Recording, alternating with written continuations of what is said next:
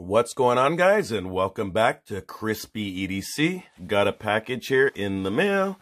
Gonna open her up. Uh, I gotta be honest, I did fondle her a little bit. I gave her the old Terry stop, the pat down, you know, uh, just to see what was going on in there. And I felt some things that, I don't know, there's some extra stuff in here, I think. You know, some goodies, maybe? I don't know. We'll see. Yeah, get out of here. Anything else in there? Uh-oh. Oh, oh, oh, ooh. Anything else? Nothing else? Frisbee that. Oh, Ivory, sorry. I hit him. Uh, so, we have a little peasant knife. Uh, so I guess it's like a keychain version. Uh, we'll see what that's all about.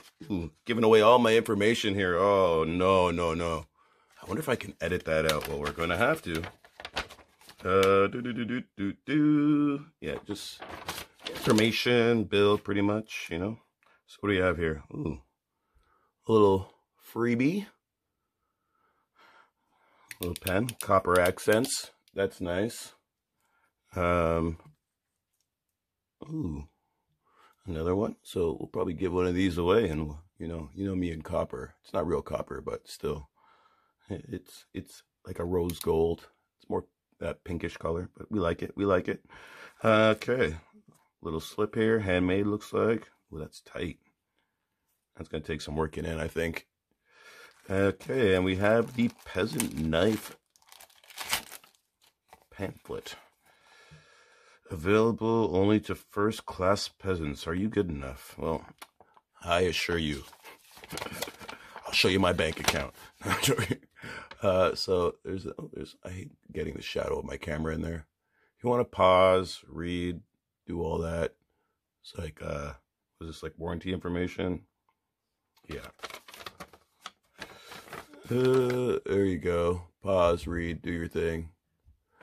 Um, yeah, so let's take this out of the package. Hey, Ivory, what's up? What are you doing? She, she jumped up on the couch that's next to me. She's staring at me. All right. Ooh. So this is like a friction folder. I've been warned that uh, it, it, can be uh, pretty slicey. And to make sure that you have a good grip on it. oh, she's she's greased up. Uh, let me, hold on a sec. I have a rag here. Yeah. We're going to have to clean that up a little bit. So honestly, this isn't the typical knife that I would probably carry. This is probably going to be like a package opener, letter opener kind of deal. Uh, this whole friction business makes me a little nervous. I'm not going to lie. but I feel like if you have a real good grip on there, that's not really going to go anywhere. It's pretty sturdy. And there is a little bit of friction there. Hmm. So when you squeeze the handle, it kind of gives it a more, even more friction. And when you let go of the handles, it becomes a lot more loose. Interesting. Very interesting. I didn't expect that actually. So like the scale, am I on camera there? There's a lot of flex to it, or the can I show this properly? So they wiggle around. And when you lock the blade in there and everything's tight, it becomes much more secure. Nothing's moving. And you can get a good grip on it. I believe this is a carbon steel. I'm not sure. I probably should have looked a little more information up on this guy, but like a, we're just doing an unboxing. We're not doing reviews anymore. I guess I should say who it's from. It's from Svörd. Svörd. Am I saying that right? sounds it's it's funny to say. Svörd, the owner of this company, also owns Puma Knives, which is another Canadian knife shop. I think they're more like um, peasant knives and uh, oh my goodness, I'm drawing a blank right now. what's what's a non-flipper knife? A knife that doesn't flip. Oh my god. And is this really happening right now? I'm that tired. Wow. A non-folding knife. There we go.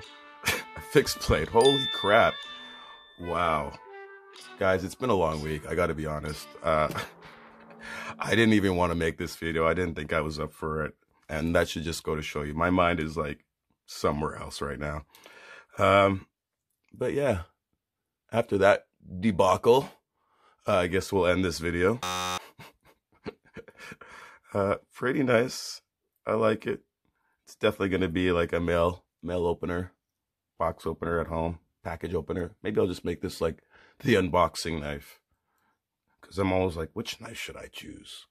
Maybe we'll just make this it. It's nice and small, nice and slicey. I feel sharp. Ooh. I don't have any paper nearby or do a cut test. Do I have anything? I don't want to cut that. That's a, that's a handwritten letter. Uh, the papers just fly across the room. It's crazy. I have magic elves in, in here. Let's see. Oh, that's not a good showing.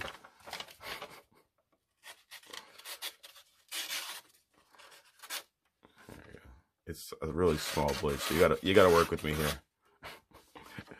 that, that we're we're just not gonna count that first cut at all. It could it could use a little stropping probably. Yeah, a little stropping, she'll be good. I'm not too worried or concerned about that. So there it is. Now that I've messed this video up thoroughly cutting debacles and fixed blade debacles and it is what it is. you already know the deal. Until next time, live long and ooh, see? EDC on. Peace.